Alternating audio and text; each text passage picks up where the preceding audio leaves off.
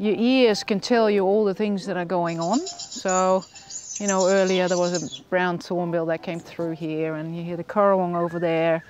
You know, there's a cranky thornbill over there.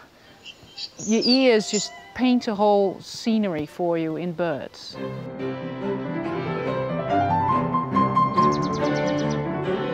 I fell in love with fairy wrens when I started my PhD. I initially wanted to work on mice to answer a particular question because I've always been a very question-driven person. So, so why, the, the why questions. And you can answer these questions about evolution and ecology with birds because they are out there living their own lives and we just watch them. We can do small experiments, but we're not changing their entire life by taking them inside. I think we got one. Shall we get it out? We got another one? Okay. So we need to find out from which side it came in and then lift it out that very same way. Because the safety of the bird is of course always always the first thing we think of. Because these birds, they are born here, they die here, I can follow them through their life and not only that, I can I know who their parents were and their grandparents, and I know who their siblings were, their cousins thrice removed, um, because they tend to stay around. And that allows me to answer particular questions, for instance, about are traits genetic or are they more environmental? Um, is your, your life success, does it depend more on luck or on who you are? So I grew up in a very small country, the Netherlands, and it's also quite full of people, and I did always want to go away. Once I realized you can do this, you can be a scientist, look at animals, real animals in the wild, and you can go places, there is no stopping me. 92. Yeah, so this is bird 73982, and uh, it's going to get a ring on its left foot.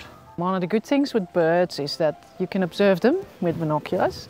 And the other good thing with birds is that we can make them individually identifiable. So we can go uh, and put ring, that's why we put those rings on.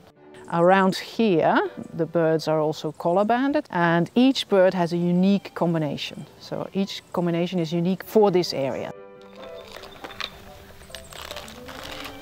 It's got four moth in the wings. And fairy wrens, of course, are very beautiful. The pair live together as a unit. They are a pair, a couple. But since we can do genetic paternity testing, since about 20 years ago, we know that they're not faithful.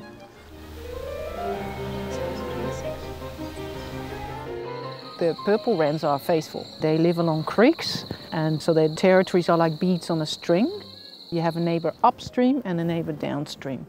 And we think that might be why uh, it's just too hard to be sneaky and secretive and go and mate with your favorite male. Right now we're looking at, at aspects of their health and what determines that and how does it interact with parasites and do those, those beautiful males, are they healthier than the the ones that to me look just as beautiful, but the female fairy wrens seem to disagree.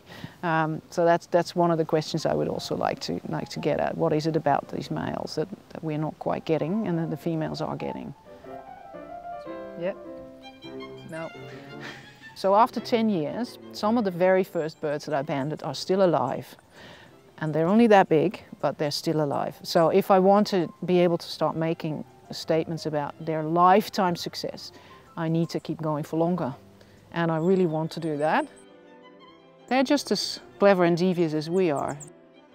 It's this, I think, that is what gives a lot of people the passion to do the long hours, to get bitten by quadrillions of insects and scratched by grasses and sleep deprived and um, because this insight that we get in animals doing what they do and finding out how extremely clever they are and complicated and yes.